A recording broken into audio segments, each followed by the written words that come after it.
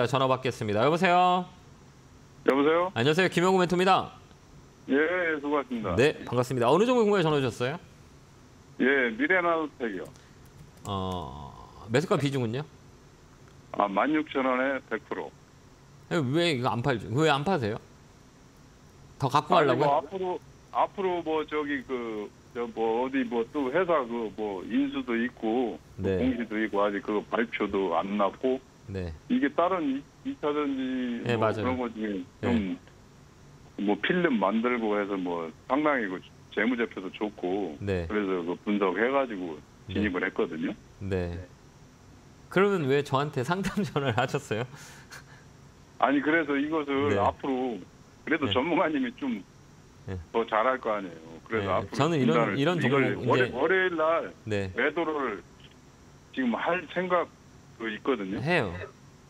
아, 그냥 저는 그렇게 생각해요. 그러니까 이, 이 여기에서부터는 무슨 영역이라고 얘기하냐면 신의 영역이라 그래요. 예, 영역 자체가 우리가 평가하고 판단하기는 없고 그 수급 자체에 의해서 움직이는 경우가 되게 많이 있거든요. 예, 그렇죠. 예, 여기는 수급 자체예요. 그러니까 이- 그날에 이런 종목은 다 세력 종목이거든요. 어, 이 세력 네. 종목에 이거는 신용도 10%까지 들어 있고 이런 거는 예, 이 급등을 했잖아요.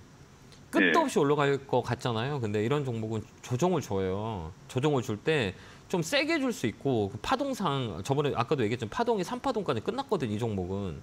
그렇기 때문에 예. 요 위에서는 자꾸 윗골이 나오잖아요. 2만 5천 원짜리에서 맞아요. 윗골이 두 번 나왔죠. 이거는 조금 물량이 나온다는 얘기거든요.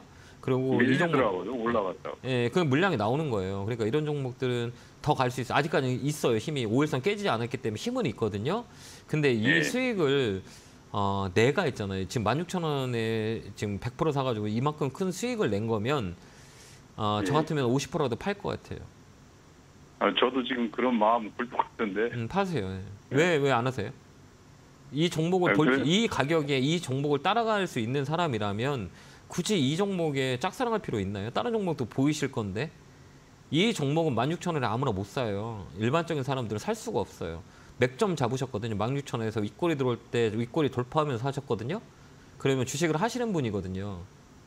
그안 아니, 그러세요? 저 지금 오- 올해 1월 달에 이론하고 뭐 그 공부를 예, 되게 해가지고 요번에 처음 들어간 거예요. 예, 그래요? 잘 하셨네요. 네. 왜 그러면 박스권 네, 공- 상단을 돌파하는 자리예요. 3천장에 돌파하고 자리고 16,000원 네. 맥점 잡으셨어요. 그러니까 이런 기 이런 기술이라거든요. 테크니컬한 부분은 아무나 할 수 있는 거는 아니에요.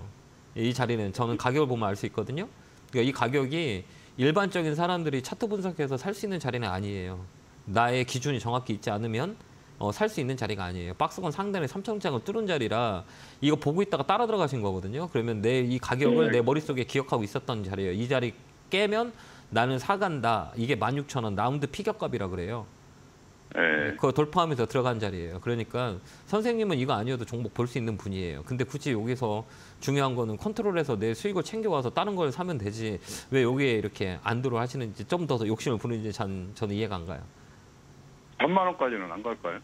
어, 저한테 그러면 이런 질문을 하시는 게 낫지 않을까요? 지금 시청자님이 몇 살까지 살까요? 라고 맞춰주는 게 더 좋지 않을까요?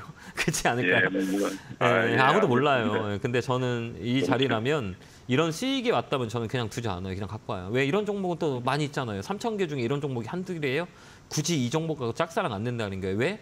이 종목은 테마로 움직였기 때문에 시가총액이 네. 크지 않잖아요. 그러니까 빨빨 치고 나와야 된다는 거죠. 왜 그러면 이런 종목 많이 그 종목 가면 되지. 굳이 여기에 모든 거를 수익 나온 거를 안 갖고 오는 거는 저는 그렇게 생각해요. 그러니까 잘 참고해서 대응해 보세요.